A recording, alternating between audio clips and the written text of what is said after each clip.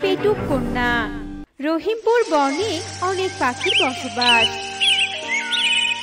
ওই বনে এক ধনী পাখি টুনি তার মেয়ে টুকিকে নিয়ে বাস করত। টুনি ছিল খুবই কৃপণ। টুনি কৃপণ থাকার কারণে বনের কাউকেই সাহায্য করত না। একদিন টুনির বাড়িতে এক ক্ষুধার্ত তান্ত্রিক আসে আর বলতে থাকে, কেউ কি আছো বাড়িতে? আমাকে একটু সাহায্য করো। আমি অনেক ক্ষুধার্ত। এই মা আমাকে কিছু খাবার দে। আমি কদিন ধরে না খেয়ে আছি। খাবার দে বললেই খাবার চলে আসে না বুঝেছ? কোনো খাবার হবে না। যাও এখান থেকে। সকাল সকাল খাবার চেয়ে আমার দিনটাই খারাপ করে দিল। যাও বলছি। মা তোর তো অনেক ধন সম্পত্তি। তার উপর কত বড় বাড়ি। কৃপণতা করিস না রে মা। আমি তোকে অনেক আশীর্বাদ করব। দে না রে মা দে না আমাকে কিছু খাবার। তোমার আশীর্বাদ দিয়ে কি আমি ধনী হতে পারব না নাকি, শুনি? আমি তোমাকে কোনো খাবার দিব না, আর তোমার কোনো আশীর্বাদও নিব না। চলে যাও তো বলছে এখান থেকে। নইলে কিন্তু আমি ঘাট ধাক্কা দিয়ে দাঁড়িয়ে দেবো বলে দিলাম। টুনির এমন কথা শুনে তান্ত্রিক সেখান থেকে চলে যায়, আর টুনি সেখান থেকে ঘরে চলে আসে।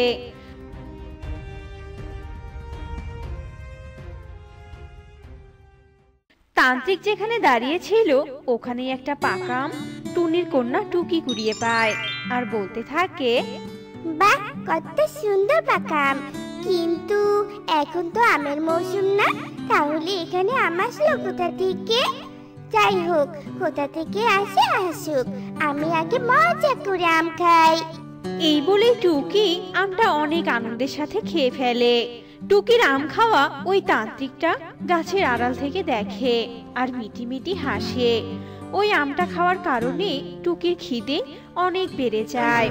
আর টুকি তার ঘরে মনে মনে বলতে থাকে উফ খুব ক্ষুধা লেগেছে।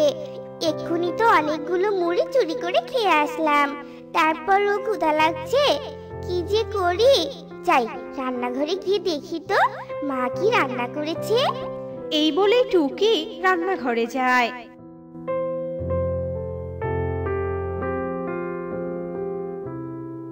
আর গিয়ে দেখে ওখানে এক হাড়ি পায়েস রাধা। পায়েস দেখা মাত্রই টুকি সেগুলো গপ গপ করে খেতে থাকে।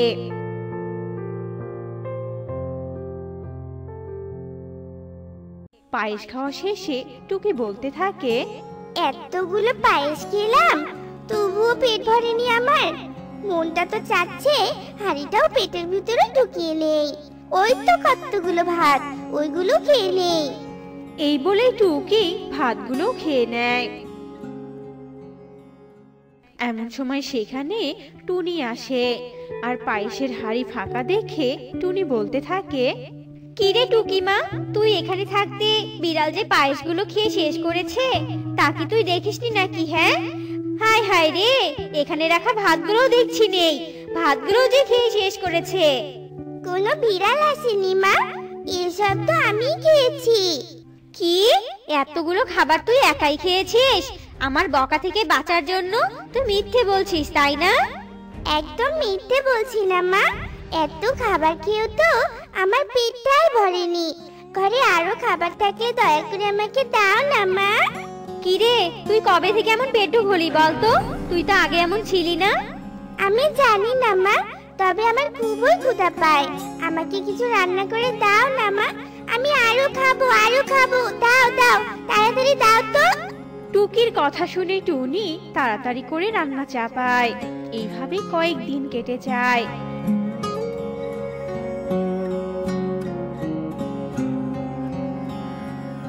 টুনি কন্যা টুকি এতটাই পেটুক হয়ে যায় যে সে একাই দশ জনের খাবার খেয়ে ফেলতে থাকে। পেটুক কন্যা টুকির খাবার জোগাড় করতে টুনি হিমশিম খায়।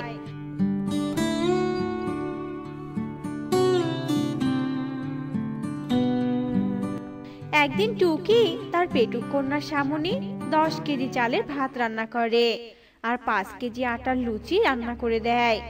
এত খাবার তার সামনে দেখে টুকি লোভ সামলাতে না পেরে চোখের পলকেই সেগুলো তার পেটে ঢুকায়।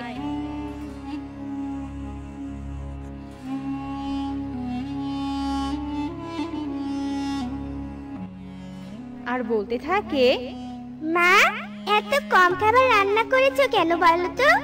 এগুলো খেয়ে তো আমার পেটের এক কোনায় ভরলো না, মা। যাও, গিয়ে রান্নাঘর থেকে আরও খাবার নিয়ে এসো তো। এতগুলো খাবার? তারপরেও তোর পেট ভরেনি? এই খাবারগুলো দিয়ে বনের বিশটা পাখির পেট ভরানো যেত। রান্নাঘরে আর কোনো খাবার নেই। আজকের জন্য এতটুকুই খাবার যথেষ্ট তোর জন্য। তুমি যদি আমাকে পেট ভরে খাবার না দাও, তাহলে আমি বনের পাখিদের বাড়ি থেকে খাবার চুরি করে খাব। আর তখন আমাকে বনের সবাই চোর পেটুকুনার মা বলবে। তখন বেশ হবে। তাই ভালো ভালোই বলছি, আমাকে খাবার এনে দাও, বুঝতে পেরেছ? টুকির কথা শুনে টুনি তার ভাগের খাবারগুলো টুকিকে এনে দেয়। আর বলতে থাকে, টুকি মা, এত খাবার খাওয়া ভালো নয় রে মা। তাই আমি বলি কি, তোর এই খাবারের প্রতি লোভগুলো তুই একটু সামলাতে শেখ মা। নইলে তোর এই পেটুকগিরির জন্য কোন দিন যে তুই বিপদে পড়িস? মা আমি খাবারের জন্য বিপদে পড়ব না বুঝতে পেরেছ? বরং আমার খাবার জোগাড় করতে তোমার মতো বনের অনেক পাখি বিপদে পড়বে। তোর এই পেটুকগিরির জন্য বনের কেউ তোকে বিয়ে করবে না আর তুই অনেক মোটা হয়ে যাবি। তখন তোকে বনে সবাই পেটুক গাছের গুড়ি বলে ডাকবে বুঝেছিস? তাই বলি কি খাবারের লোভটা একটু সামলা না রে মা। বিয়ে না হলে তো আরও ভালো। তোমার যে সম্পত্তি আছে তাতে আমি সারা জীবন বসে বসে খেতে পারব। কি মজা হবে।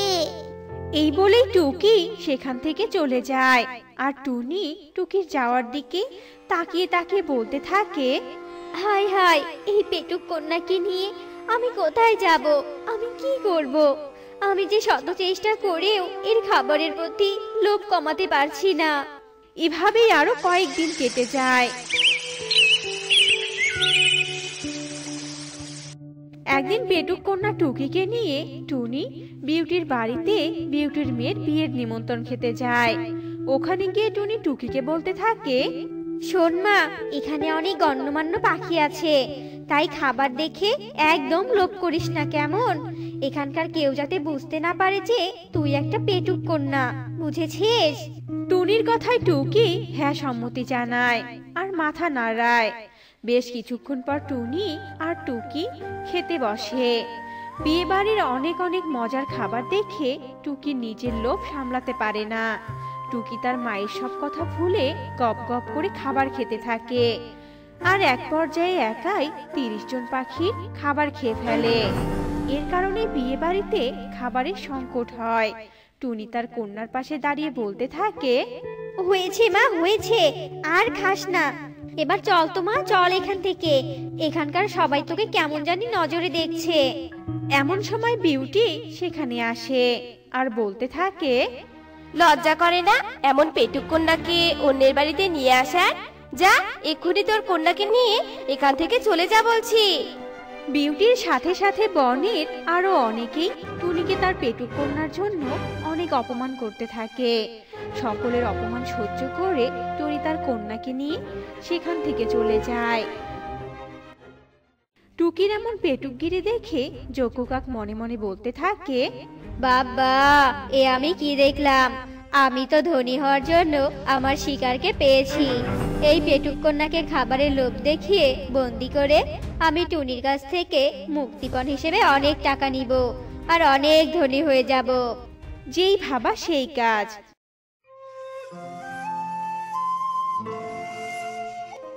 পরদিন পেটুক টুকির স্কুলের যাওয়ার পথে যোগ্য কাক ওর সামনে আসে আর বলতে থাকে আরে টুকিমা তোর মুখটা এমন শুকনো দেখাচ্ছে কেন? তুই কিছু খাসনি নাকি মা? কেন? আমি কিছু খেয়েছি না অনাহারে আছি সেটা তোমাকে বলব কেন হ্যাঁ? তুমি কি আমাকে খাওয়াবে নাকি বলো তো? খাওয়াবো জন্যই তো তোকে জিজ্ঞাসা করেছি। আমার সাথে চল আমি তোকে পেট ভরে বিরিয়ানি মাংস দই মিষ্টি সব খাওয়াবো। সত্যি বলছো? চলো তাহলে। এই বলেই টুকি কাকের সাথে চলে যায়।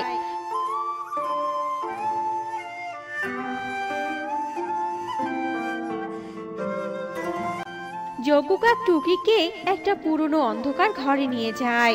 আর ওই ঘরে ঢুকে টুকি বলতে থাকে, তুমি আমাকে এই অন্ধকার ঘরে নিয়ে এলে কেন হ্যাঁ?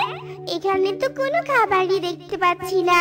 এত দূর পথ হেঁটে আসার কারণে তো আমার খুব ক্ষুধা লেগেছে। আমাকে খেতে দাও তাড়াতাড়ি খেতে দাও তো। তোকে আমি খাবার দিব তবে এখন নয় বুঝেছিস? তোর মায়ের কাছ থেকে অনেক টাকা নেয়ার পর।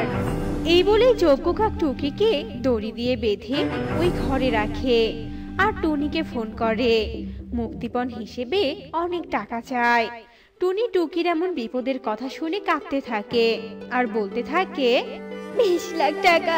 এত টাকা তো আমার বাড়ি ভিটেটা বিক্রি করেও হবে না। এখন আমি কি করি? এই কিডন্যাপার যদি আমার মেয়ের কোনো ক্ষতি করে দেয়, না না, আমি এক্ষুনি ইগলের কাছে যাব। আমার বাড়ি বিক্রি করে দিতে হবে। এই বলেই টুনি ইগলের কাছে যায় আর কম দামে তার বাড়িটি বিক্রি করে দেয়। আর সেই টাকা নিয়ে যজ্ঞ কাকের ঠিকানায় চলে যায়।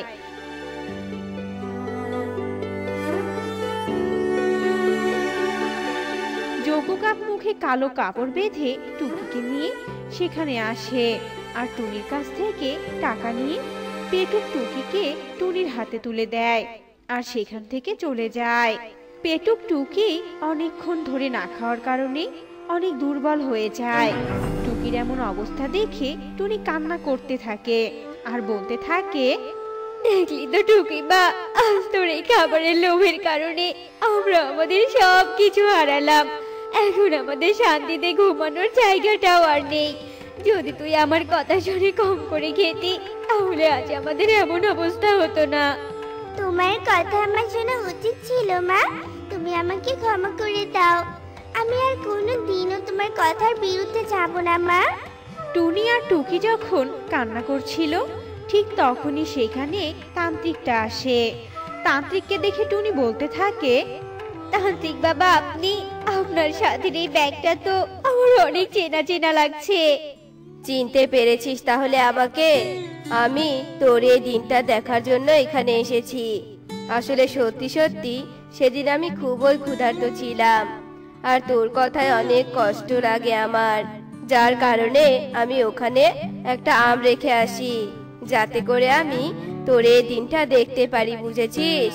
শোন আমার সেই আমটা খাওয়ার কারণে তোর মেয়েটা পেটুক হয়েছে। আর আমি এই দিনটা দেখতে পেরেছি। তান্ত্রিক বাবা আপনি আমাকে ক্ষমা করে দিন। আমি আজ বুঝতে পারছি। আপনাকে সেদিন খাবার না দিয়ে তাড়িয়ে দিয়ে আমি কত বড় ভুল করেছি। আমাকে দয়া করে ক্ষমা করে দিন। আর আমার পেটুক মেয়েকে ভালো করে দিন। টুনির এমন কান্না দেখে তান্ত্রিকের অনেক মায়া হয়। আর তান্ত্রিক বলতে থাকে আমি তোকে ক্ষমা করে দিলাম। এই নে আম। এই আমটা তোর মেয়েকে খাওয়ালে তোর মেয়ে আগের মতো হয়ে যাবে। আর পেটুক থাকবে না তোর মেয়ে। আর এই নে টাকার ব্যাগ। এই টাকাগুলো আমি যজ্ঞ কাকের কাছ থেকে ভয় দেখিয়ে নিয়েছি। এগুলো তোরই টাকা। তবে আর কোনোদিন এমন কৃপণতা করবি না কাউকে, বুঝলি? আর অপমানও করিস না। এরপর টুনি তার পেটুক কন্যাকে আমটা খাইয়ে দেয়। আর পেটুক কন্যা টুকি আবার আগের মতো হয়ে যায়। এরপর থেকে তারা সুখে শান্তিতে দিন কাটাতে থাকে। তো বন্ধুরা, আমাদের গল্পটি তোমাদের কাছে কেমন লেগেছে তা কমেন্টে জানাতে ভুলো না কিন্তু।